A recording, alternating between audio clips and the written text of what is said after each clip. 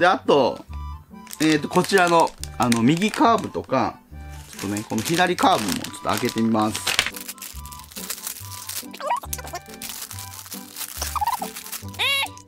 なるほど。こんな感じになって、ちゃんとね、あの、坂になってます。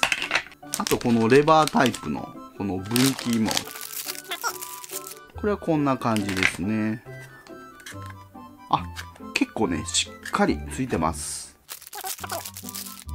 直線なんですけど、コースター直線なんですけど、ちょっと坂になってるのかなって思ってたら、坂にはね、なってないです。じゃ次はこの直線道路。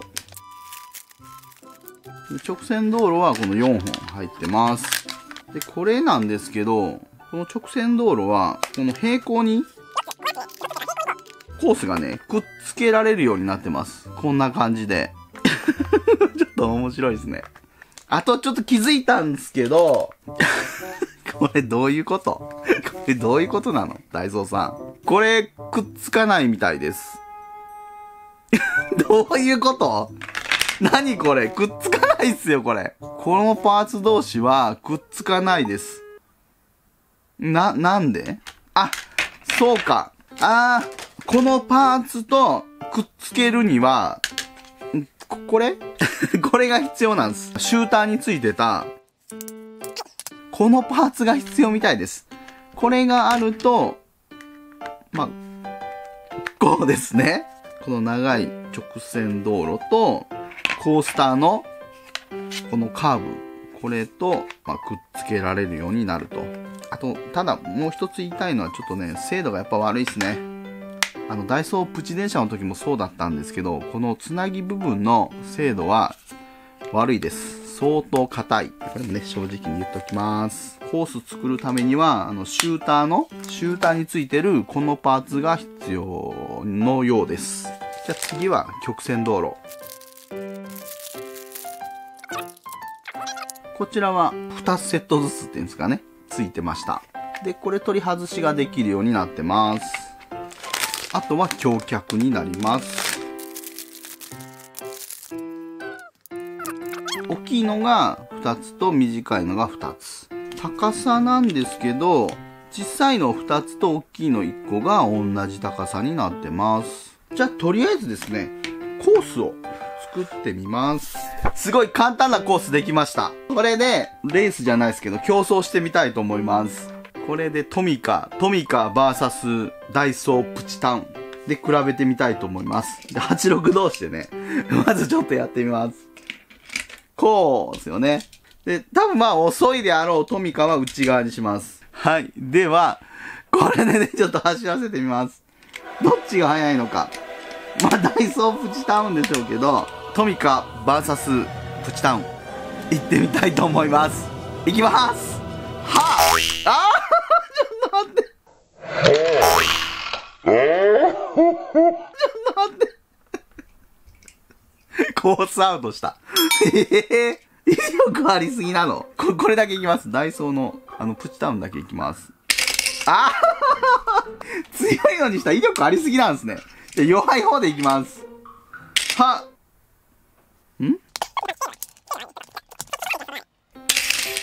お来た来た来た 楽しいですね。もう一回行きます。あー、車変えようかな。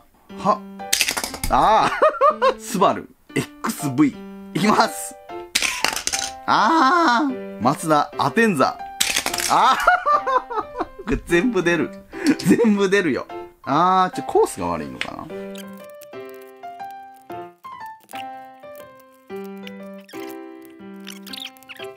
はい。では、今度はね、ちょっとコースを変えてみました。これならいけるっすかね。もう一回86いきます。あなんで？えー、トミカならいける？あー、うーん。ホットビール。あー。あー、出ちゃいますね。うーん。どうしたらいいんだろう。とりあえずね、ちょっと大きいコース作ってみます。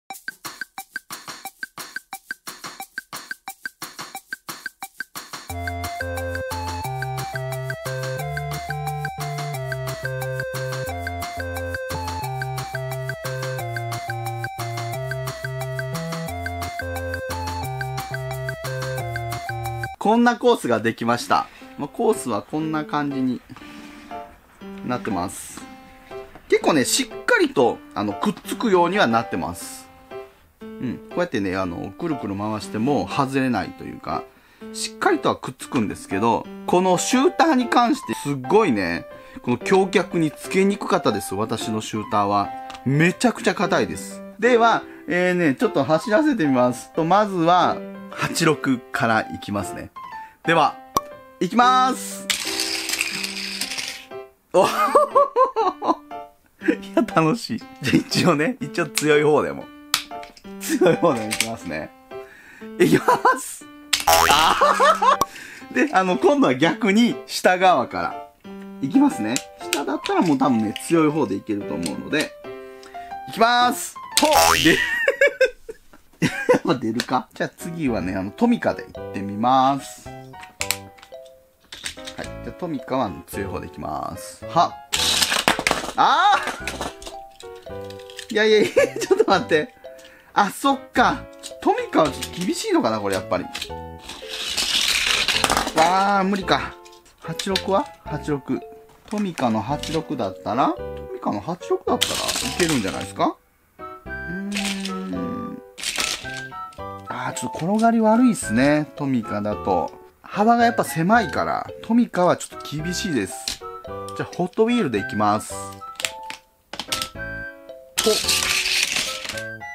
ほあ、逆にホットウィールの方がいい。あー、これホットウィールいいな。いけますね。じゃあ、下から。あ、下はちょっと無理か。ということで、ホットウィールとも意外に相性がいいみたいです。じゃあ、今度はね、このアングルから撮ってみよう。いきまーす。いいっすよね。では、マスダのアテンザ。はい。よじゃあ、あの、ホットウィール。ホットウィールいきまーす。よいしょ。はい。おー ホットウィールとの相性いいっすですよね、これ。こちらっすね。ダイソープチ電車が走れるのかどうかっていうのもやってみたいなと思います。一応、一応走るかどうかだけ見てみます。戦闘車だけだったらいける いけるぞじゃあこれね、シューターで、あ、それあかんわ。それあかんわ。シューターで緩い方だったら、あー、そっかー。いや、でもかなりいい感じですね、これ。あー。動力があればこれ登ったりもできるんじゃないですかね。これいけるのか。やってみたいと思います。いきます。はあ、いける いけるよあ 上は無理か。上は無理だけど、あの、下のコースを、こう、長くしてみました。これでね、もう一回、このダイソープチ電車を走らせてみたいと思います。楽しい。いきますよ。はあ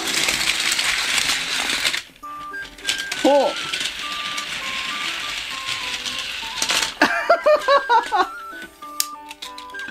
これはもう走りますね。ダイソープチ電車走る。これ楽しい。はい。いかがだったでしょうか？ダイソープチ電車走りましたね。これ結構いろんな遊びできるような気がします。そして、そしてあの、このプチタウンのミニカーなんですけど、まあ、これ、プラスチックで良かったですね。このシューター使ったら結構、パンパンパンパンと、あの、勢いよく飛びますんで、あの、こうやって軽いミニカーの方が、やっぱ当たっても痛くないし、まあ、安全を考慮すれば、やっぱこのプラスチック、正解だと思います。そして、あの、クオリティもね、100均にしては、まあ、いいんじゃないかなと思います。あと、あの、転がり性能が結構いいですよ、これ。こ れ結構いいです。それと、このプチタウン、どちらかというと、トミカとの相性は、まあ、これ専用に作られてるんで、まあ、これはあんまり相性は良くないです。ただ、ホットウィール。これはね、結構いけますね。うん。これは結構いける。と思いました。で、個人的には、これ、プチ電車。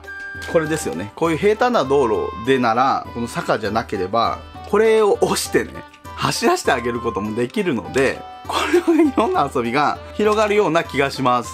まあ、ジョージ・シャラ的にはすごく買って、あの、良かったなと思いました。またあの、このシリーズはね、あの、ちょくちょくやっていきたいなと思います。という感じです。ありがとうございました。